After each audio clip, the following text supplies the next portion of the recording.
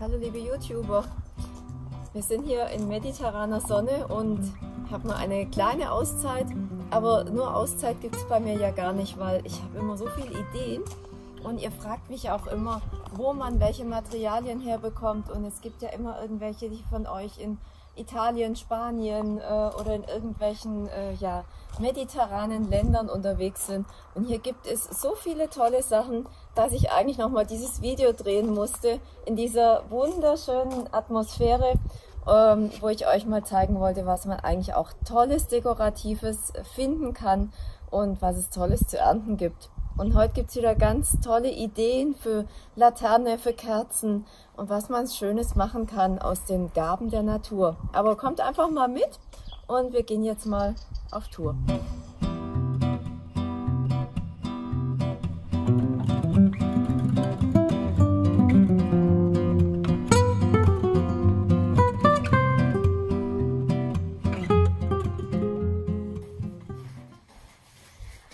Aber bevor ich zur Materialbeschaffung und zur Produktion übergehe, zeige ich euch doch noch mal so ein paar Tricks und Kniffe. Ich habe jetzt dieses Kränzchen wunderbar frisch gehalten, indem ich es in eine Tüte gemacht habe, die Tüte zugeknotet, so ein Tick Feuchtigkeit drüber, entweder mit dem Wäschesprüher oder auch mit diesem Verdunstungsschutz. Und dann bleibt es wunderbar frisch, auch über mehrere Tage im Kühlschrank. Und tada, hier ist es. Ich packe es also aus, diesen wunderschönen Steineichekranz und bleibt also ganz knackig. Die Blätter sind noch richtig schön, weil wenn die trockener werden, rollen die ein bisschen zusammen. Und jetzt gibt's natürlich noch so das i-Tüpfelchen, das ich euch vorab mal zeige. Ich habe da ja hm, immer diese wunderschönen Lichterketten mit Timer. Das ist also eine Schnur, die Lichterkette. Und die habe ich dann auch mal ausgepackt und habe schon mal zwei Batterien reingemacht. Und die ist so ein kleiner Vorabgeschmack. Die, das ist nämlich so eine Lichterkette, die ich auch an ganz viele von euch YouTubern schon versendet habe und wo ich auch unglaublich viele Videos gemacht habe, ähm, was man alles mit dieser Lichterkette toll dekorieren kann. Und das ist natürlich nicht nur Bäumchen, die hohe Vase, die Christschalen, äh, die Christschalen, äh, Entschuldigung, die Christrosenschale, so rum. Ja, also sehr, sehr viel. Und ich blende euch da auch noch mal ein paar Videolinks ein. Äh, und natürlich auch diesen schönen Kranz, den man hier so, so, äh, so ganz toll in Szene setzen kann. So, man macht einfach die Lichterkette, klemmt man so zwischen die Blätter. Ja, und so, das kann man auch hier zwischen diese Eicheln klemmen. Und der, der Gimmick an dem Ganzen mit der Lichterkette ist dann natürlich auch, dass man das Batteriekästchen ganz toll verstecken kann. Und das habe ich auch in vielen Videos gezeigt. Aber ich muss jetzt mal, muss jetzt mal das Licht dimmen kurz, Augenblick. Und dann zeige ich, wie das auch, wie toll das in den Abendstunden aussehen kann. Das ist so schön ist, also so ein toller Kranz. Man kann immer noch eine Kerze im Glas in die Mitte reinstellen. Und ja, diese Lichterketten, die versende ich auch mit Warensendung ähm, für 9,50 Euro das Stück.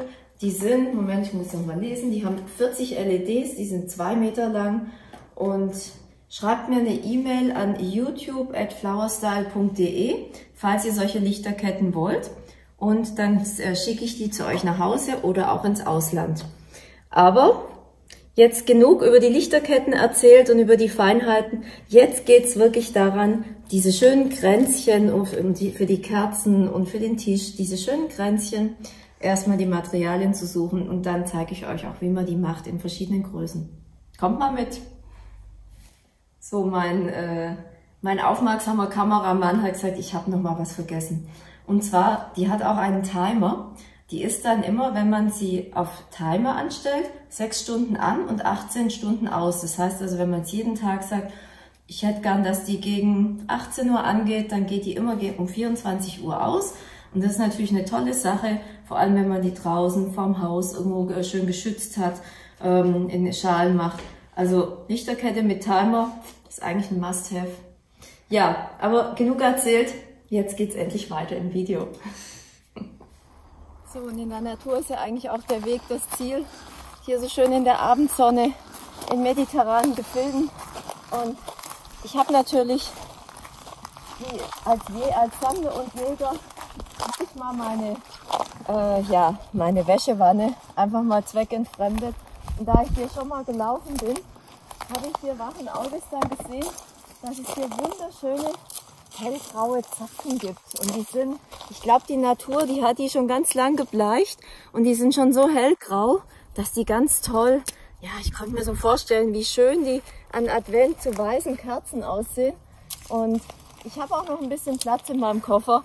Und deswegen habe ich beschlossen, dass ich einfach mal hier zur Ernte hergehe.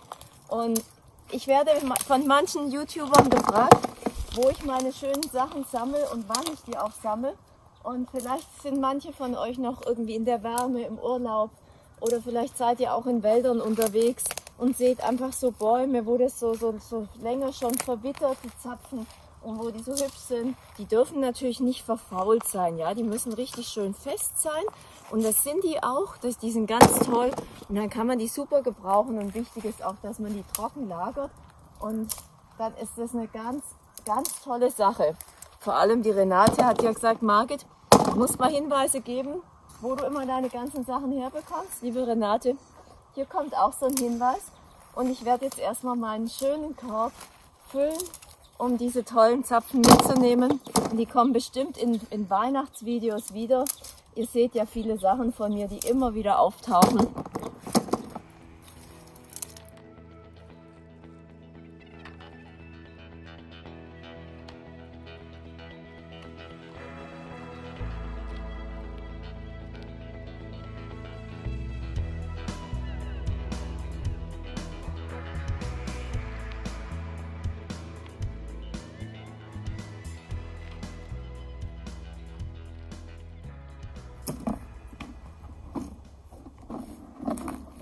So, also ein paar Zapfen habe ich jetzt schon. Und ich achte auch immer darauf, dass ich mal ein paar kleinere und mal ein paar größere Zapfen sammle.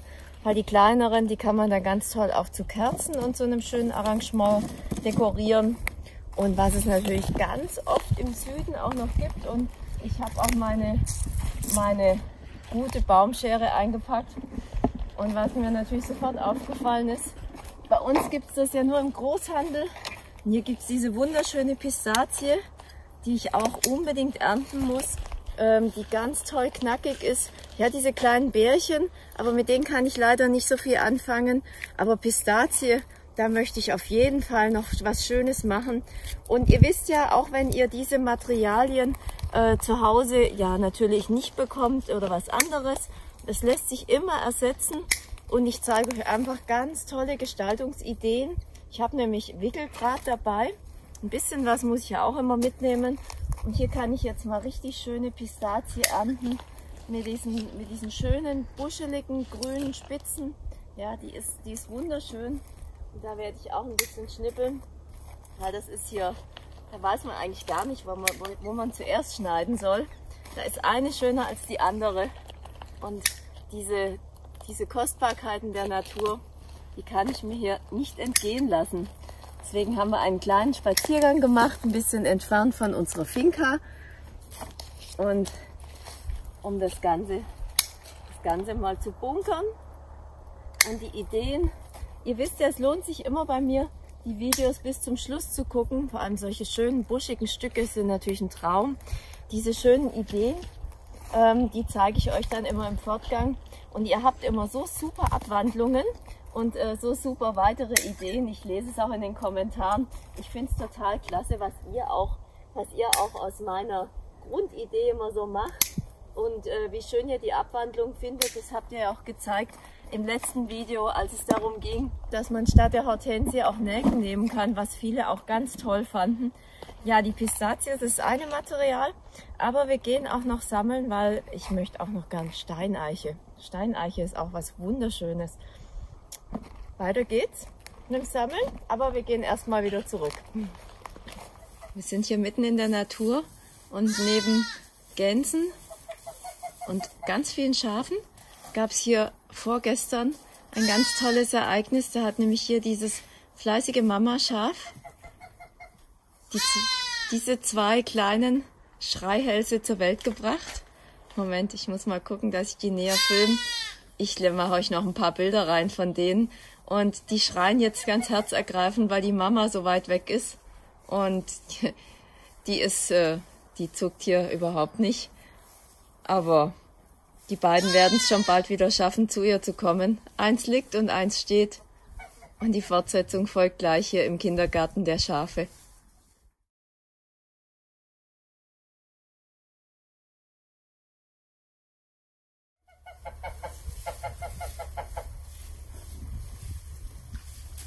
Ich habe von zu Hause auch ein paar schöne Kerzen mitgebracht. Ich fand das jetzt eine schöne Mischung mit, mit Aprikot und Elfenbein.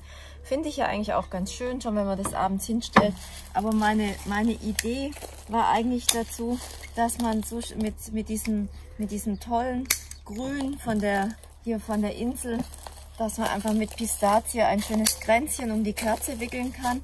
Und damit ich das wickeln kann, muss ich natürlich jetzt erstmal die Pistazie in viele kleine Stückchen teilen ähm, ansonsten sind die zu lang und zu groß. Äh, und ich hätte jetzt gern einfach so kleine Pistazienstückchen, um ja für diese schöne Deko. Und ich habe eigentlich gar nicht viel mitgebracht, ja, weil man denkt ja so, ach, was, was nimmt die Margit denn so mit auf Reisen? Und ich habe gar nicht so viel mitgebracht. Ich habe wirklich lediglich eine Rolle Draht. Ich habe auch Strohrömer mitgebracht und da wollte ich morgen noch mal was machen. Das zeige ich euch dann aus Steineiche. Ähm, und ich habe diesen schönen grünen Wickeldraht mitgebracht. Und das war jetzt eigentlich eine Tüte an Floristikmaterialien, mehr nicht. Und habe gedacht, das muss jetzt reichen, weil eigentlich habe ich ja auch Urlaub. Aber wie gesagt, so ganz Urlaub habe ich ja nie, weil irgendwie ist immer in meinem Hinterkopf, äh, spielt ja doch immer mit, dass es so viele Dinge gibt, die ich euch gern zeigen möchte. Und ich teile jetzt auch immer hier diese Stückchen nebenbei und äh, möchte gern so schöne kleine Fitzel. Ich brauche ein bisschen Stiel von der Pistazie. Sowas ist natürlich perfekt. Ja? Und ich werfe dann auch äh, die anderen Stiele, die werfe ich einfach weg. Hier fliegt genügend von den Bäumen rum, da stört es überhaupt nicht, dass so ein paar Pistazienstiele hier auch noch äh, liegen. Am schönsten sind eigentlich die, diese feinen, diese feinen, äh, ja, sag ich mal, Blätter, die sind eigentlich fast zu grob. Aber langer Rede, kurzer Sinn. Ich versuche jetzt einfach mal anzufangen. Ich muss irgendwo drauf wickeln. Deswegen nehme ich mir zum Draufwickeln, ähm, wir nehmen oft ein Bändchen oder wir nehmen auch oft so eine dicke Sisal-Schnur. Das habe ich alles nicht dabei. Ich bin hier nicht im Blumenladen, aber das macht nichts. Ich nehme einfach zum Draufwickeln ein Stück Draht. Ja, ich mache mir das jetzt einfach und dann lege ich, dann lege ich hier die Pistazie an diesen Draht an. Ich hoffe, das sieht man hier schön in der Sonne, in der Abendsonne. Die ist jetzt so schön gülden und äh, fang an, auch mit diesem Draht zu wickeln. So, verdrehe mal den, das erste Stück miteinander. So, und kann dann immer eigentlich wie so eine kleine Girlande wickel ich mit meinen Pistazienstückchen. Ja, man muss die auch klein genug machen und kurz genug. Sonst äh, muss man danach wieder so viel abteilen. Aber ich habe ja versucht, es zu machen und wickel einfach mit meinen Pistazienstückchen eine kleine, ja, so eine kleine Girlande, ähm, die dann ja nachher als Deko gedacht ist. Als schöne Gründeko für meine Kerzen. Das ist jetzt ein bisschen Fleißarbeit, wenn die, wenn die Pistazienblätter ein bisschen größer sind, dann ähm, drücke ich die einfach zusammen und wickel weiter.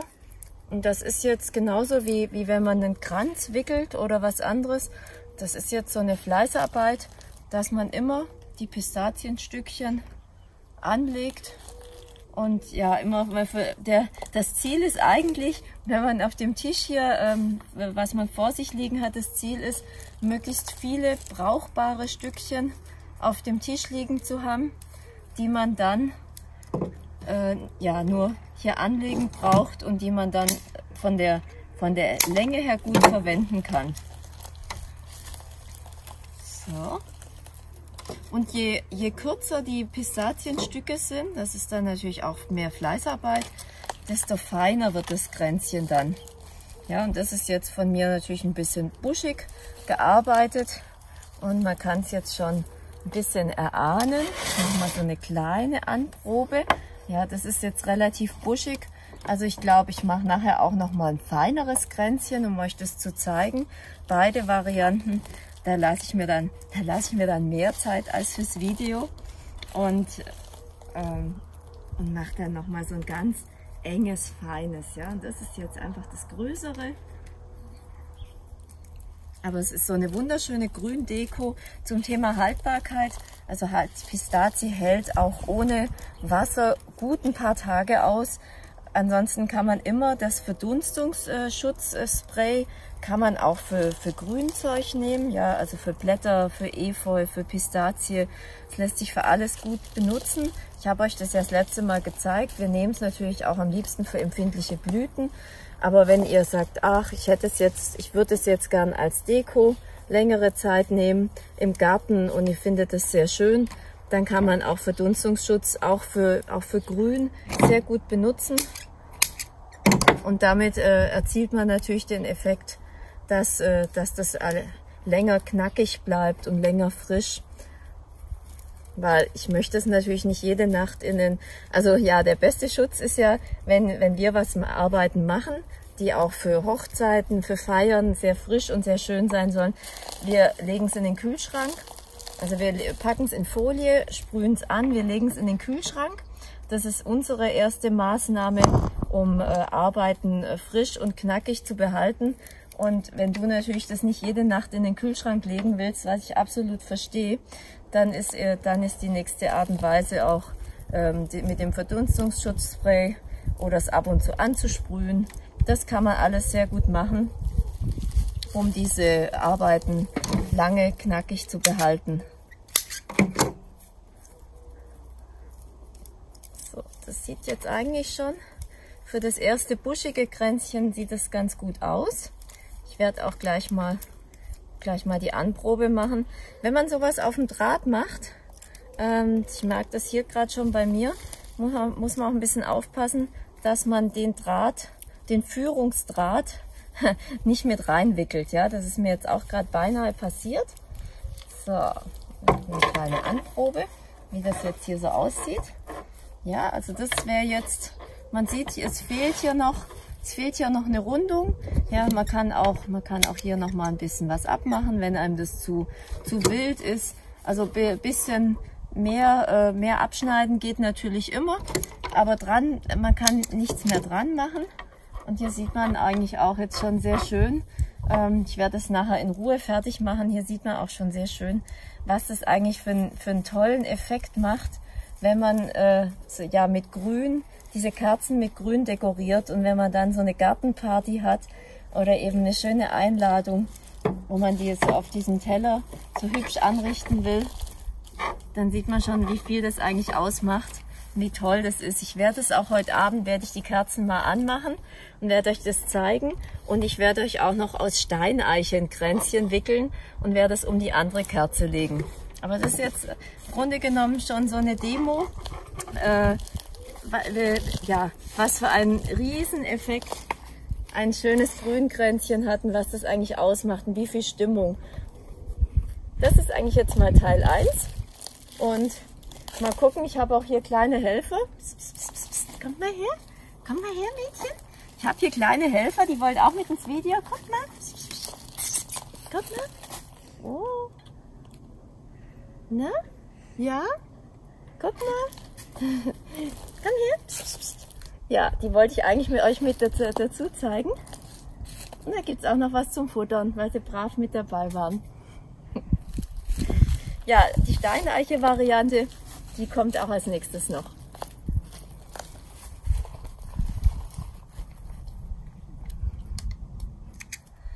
So, ich habe jetzt mein großes Kränzchen fertig gemacht, wie man hier sieht. Ja, dieses äh, Puschelige, das habe ich jetzt ein bisschen schneller gemacht und habe auch größere Stücke Pistazie genommen. Wenn einem das dann zu, zu wuschelig ist, kann man auch, wie man, wie, wie man hier sieht, einfach ein paar Stückchen rausschneiden und man hat ein schönes buschiges Kränzchen. Wenn das grün, das wird natürlich dann auch trocken und wenn es zu hoch an der Kerze ist, dann einfach die Kerze innen erhöhen oder man nimmt ein kleines Gläschen und stellt die Kerze im Gläschen rein. Also auf jeden Fall immer schön Vorsicht mit dem Grün und der Kerze. Und jetzt hatte ich noch ein bisschen, jetzt hatte ich natürlich dazwischen ein bisschen Zeit und Muße und habe nochmal so ganz langsam und in Ruhe äh, mit kürzeren Stückchen Pistazie gewickelt.